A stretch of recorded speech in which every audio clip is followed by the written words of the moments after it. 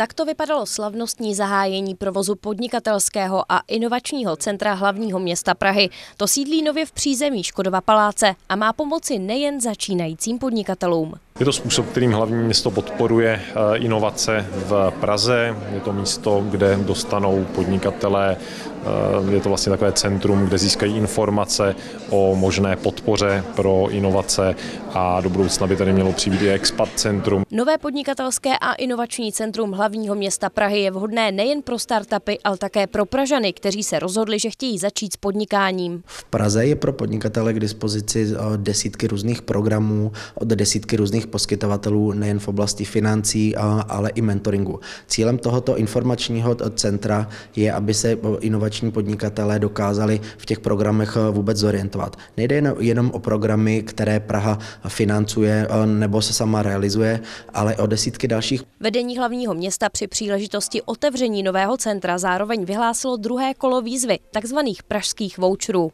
Pražské vouchery jsou vlastně pomoc eh, hlavního města právě začínajícím firmám, začínajícím podnikatelům. Máme jich několik typů, eh, od kreativních přes inkubační, po například eh, nabídku věd na zahraniční veletrhy.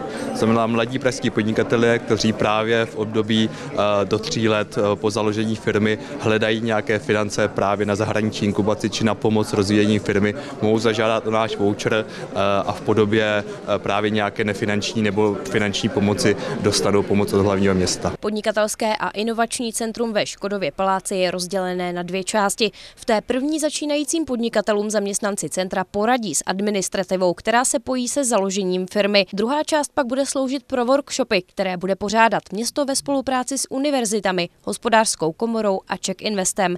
Natálie Forsterová, Televize Praha.